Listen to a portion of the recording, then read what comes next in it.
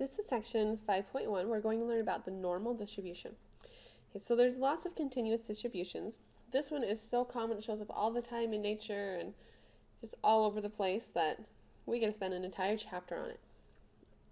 So we can find the normal distribution in things like heights of people, weights of people, tree diameters, scores on tests, repeated measurements of the same quantity, etc. There's just so many things that are normally distributed. Now, not everything has a normal distribution, but many, many do. Okay. And it's one of the most important things in all of our statistical procedures we're going to do. So one thing you should know is that it is a continuous distribution. Okay. And it's often called the Gaussian curve. So if you hear it called that or the bell curve, this is what they're referring to. Okay, so it's symmetric. It also kind of looks like a bell, it's bell curve. Okay, and there's two things that define it. Okay, you see this little mu in a sigma. Mu equals the mean, or the average, and sigma is the standard deviation. And you'll see why we have it drawn like that. Down at the bottom, we'll figure that out.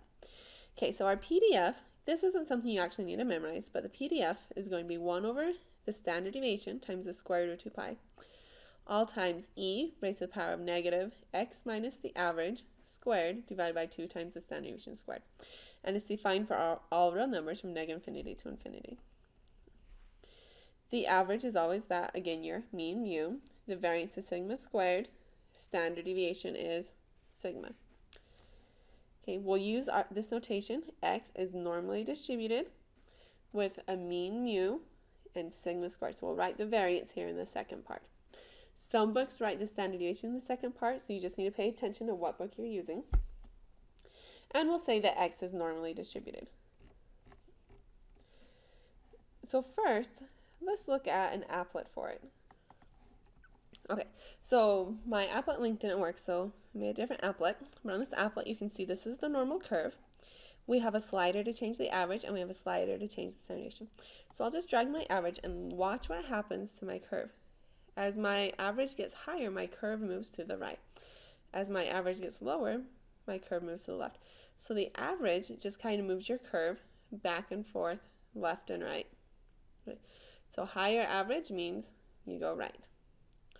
Okay, now let's see what happens if we change the standard deviation. So here's my standard deviation at 0.5. Notice as my standard deviation gets bigger, my curve gets fatter and fatter and spread out. If my standard deviation gets smaller, my curve gets skinnier and skinnier and skinnier. So bigger standard deviation just means it's more spread out. Okay, so let's go back and make some notes. So what does changing the mean do to the distribution? The average, or the mean, just kind of makes it go left to right. So it shifts the curve left to right. It just basically tells you where to center it. So a higher mean, or let's say higher average, makes the curve go to the right. Okay, what does changing the standard deviation do? Well, changing the standard deviation just means that, let's see, as the standard deviation increases, the curve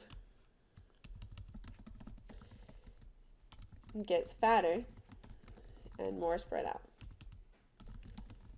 Okay, and finally it asks, where is the center or the middle of the normal kernel curve? And we didn't say that specifically when we were looking at it.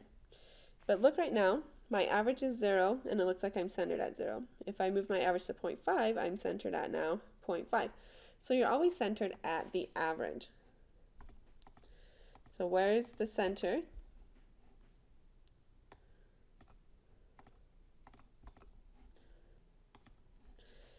The center is at the average. Or the mean. Okay. So that's why, if you look up at this image up here, they put the center at mu and they drew kind of like two lines and they said this distance in between is sigma. That kind of tells you, the standard tells you how fat it is. And so you can kind of measure this width would be equal to our standard deviation. So here's a few pictures to remind you. In this graph, both of these graphs have the same mean mu. Okay. So this tall graph, normal 5.25 means that it's normal, that the mean is 5, and that the standard deviation is, or the variance is 0.25. So that's what this is telling you right here. Okay, and this one is normal down here with a mean of 5 and a variance of 4. So as you would expect, the one that has a variance of 4 is going to be much fatter because it's more spread out. Whereas over here, both curves have the same variance. Let's see, they both have a variance of 4, so same variance. But they have different averages, so they're just shifted over. Okay, so these both have the same variance. But different averages or means. The first one has the same mean, but different variances.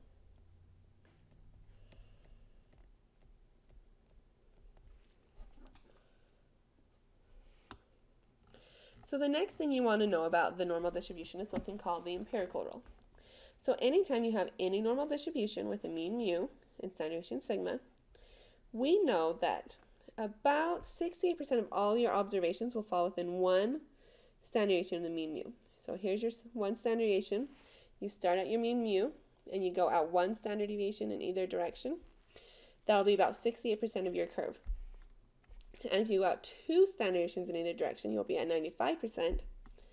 And you got three standard deviations in either direction, so three this way, three this way, you'll get 99.7%. So how do we actually apply this?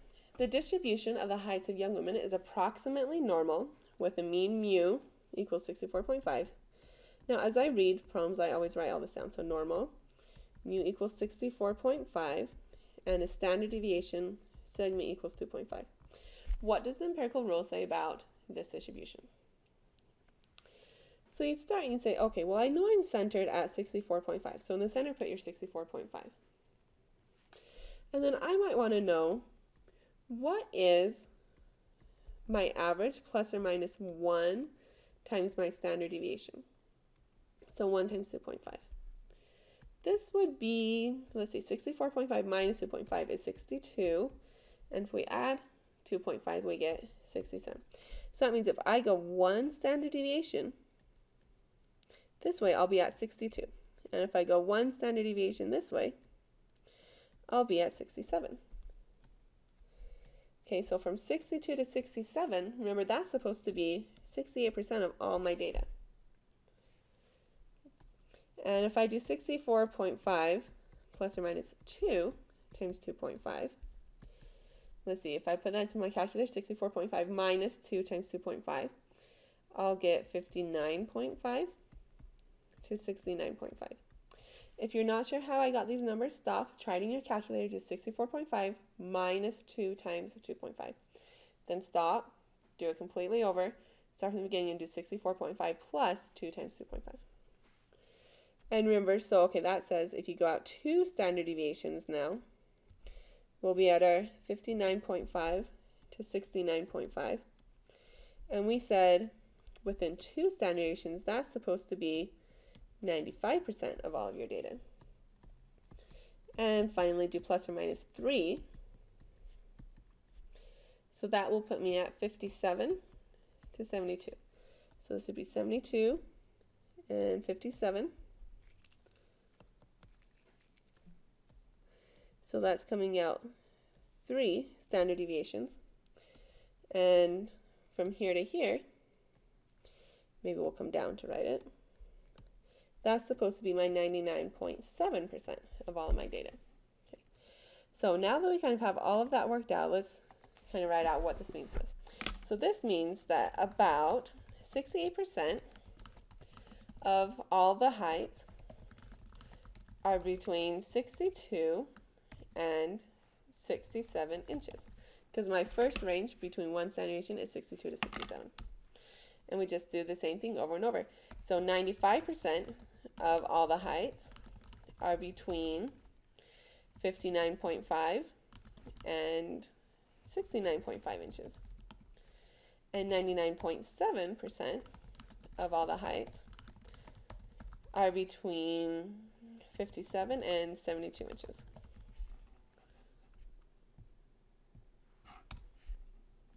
And that's what the empirical rule tells you. So if we ask what does it tell you, you would write down something like this. And this rule applies the plus or minus 1, 2, and 3 subordinations, applies for everything that happens to be normally distributed, which is why it's so cool. Okay, let's see. In our next example now, we have 10th graders in Indiana took the English exam. The mean score is 572. So that means sigma equals 572. Sorry, not sigma. It said mean. So I meant to say mu. The standard deviation is 51. So sigma equals 51. Pay attention to whether they say standard deviation or variance. You write down the right one. The scores were approximately normal. So now we know it's normal, and we can use our normal stuff. So what range of scores includes the middle 95% of the scores? So when it says that, it's saying like, okay, up here we said, okay, there's 95% between these two numbers. So what two numbers? Well, anytime you have a normal curve, the middle 95% is between, and let's go back up and look at our first picture. The 95% is always between the negative 2 and 2 standard deviations. So it's always going to be between our mean plus or minus 2 times the standard deviation. So in our case, our mean is 572 plus or minus 2 times our standard deviation of 51. So this gives me 470 to 674. So that means that about 95% of the middle students will be between 470 and 674.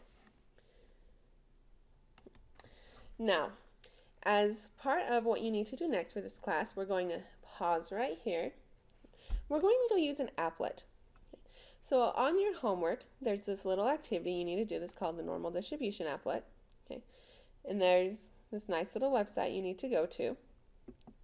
And we're going to play around with some things to learn about the standard normal distribution.